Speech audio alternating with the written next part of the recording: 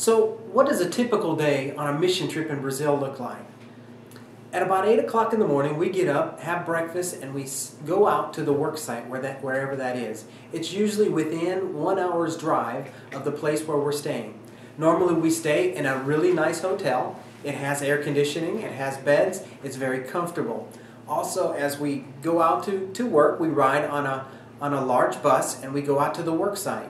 Once we arrive at the work site, the first thing we do is we have a devotion with all the Brazilians and all the Americans, and we just share a little bit about what one of the people bring to, to share.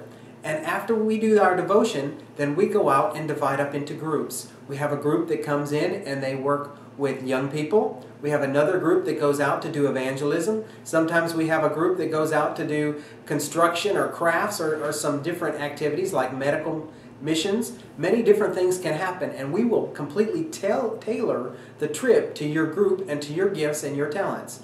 So we'll work until about 11 o'clock, 11.30, and then we'll stop for lunch, and we'll take a break until about 1 o'clock or 1.30.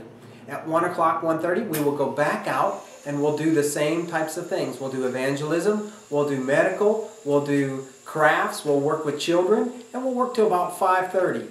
At 5.30, we get back on the bus. We go back to a place where we'll have dinner, and then we go back to the, the hotel that night.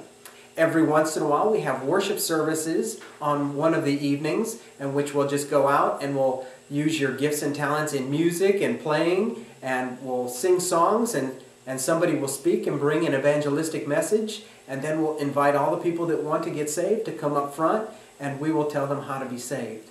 And then we go home and we rest, uh, usually from 9 o'clock until 8 o'clock the next day.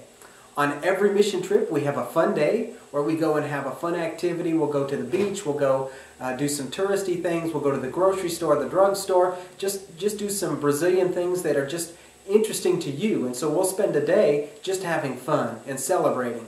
We always finish it up with a great churrascaria, which basically means death by meat. We go to a meat place where you can get all the steak you want, all of the vegetables you want, all the fruits you want, and we'll just eat until we're stuffed. And after that, we'll put you back on a plane and you'll go back home and you'll just be living all the memories for the rest of your lives. So I encourage you, come to Brazil. It's not a hard schedule, it's an easy schedule, and I promise you, God will bless whatever you do.